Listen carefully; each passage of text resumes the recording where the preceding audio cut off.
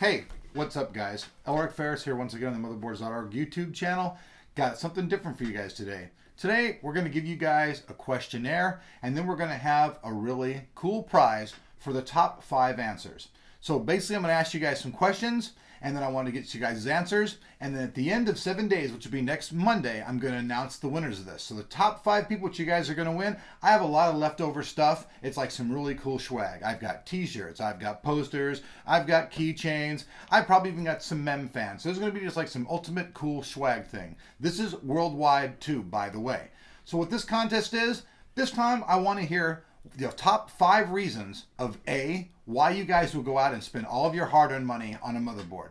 I want to hear your top five reasons of what makes you go out and spend your money when you want to buy a motherboard. If you want to include a more than five because you have them, that's absolutely fine, but five is like the minimum requirement for this contest. Now, the next thing is, what I really want to hear from you guys as well is what you guys want to see in a motherboard review. I want to hear your guys' answers of what are the top things you guys look for when you go out and look for information about a motherboard that you're going to want to buy. So these things kind of go hand in hand. So this time we're going to do things just a little bit different. We're going to announce the winner on our website.